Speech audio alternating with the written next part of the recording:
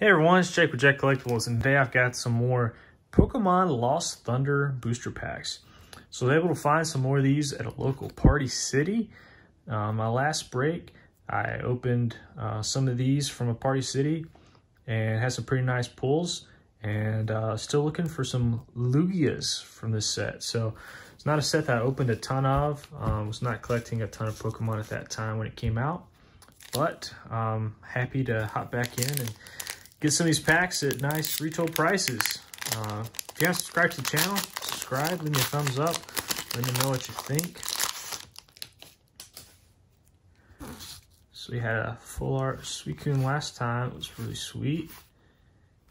And there's a Celebi, not bad. And a Genesect GX. Ultra rare, we'll take that.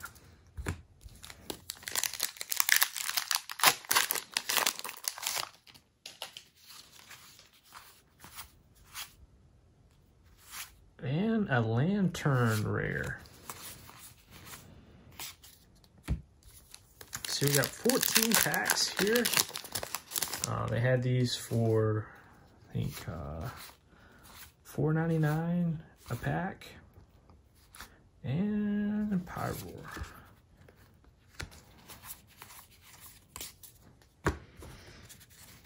So they weren't marked up or anything. They were the uh, typical retail price.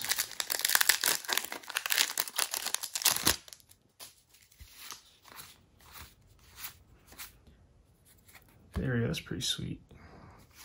And a Steelix.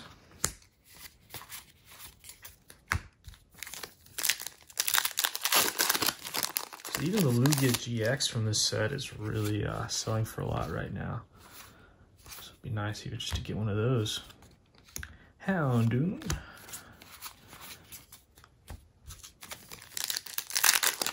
Just any full art uh, from this set is selling for a lot. A lot of there's a lot of nice secrets in the set as well. Toucannon.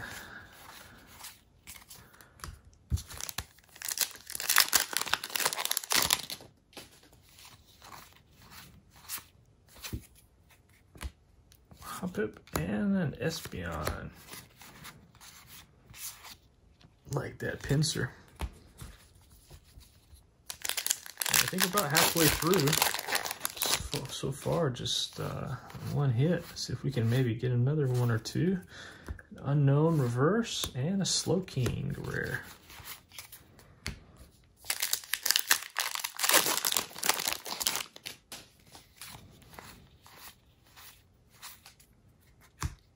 And a secret rare adventure bag. There we go, a nice gold card. Adventure bag trainer.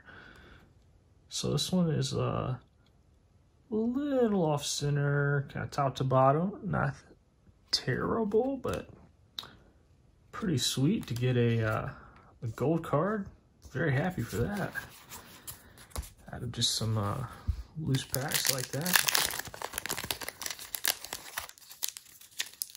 There's just the old plain green. That doesn't look too encouraging. Oh, we got we still get a Life Forest though. That's not bad. An Umbreon. See, I think booster boxes when I checked of Lost Thunder were close to like 400 a, box.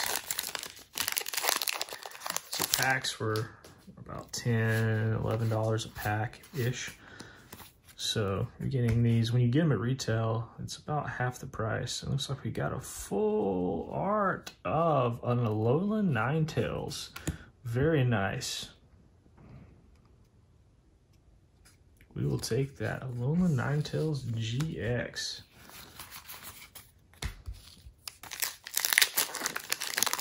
I think they had some base Sword and Shield.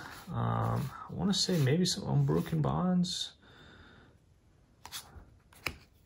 And holo rare right there. It might be the first holo rare so far that I've pulled. Yeah, I think it is. Two packs to go.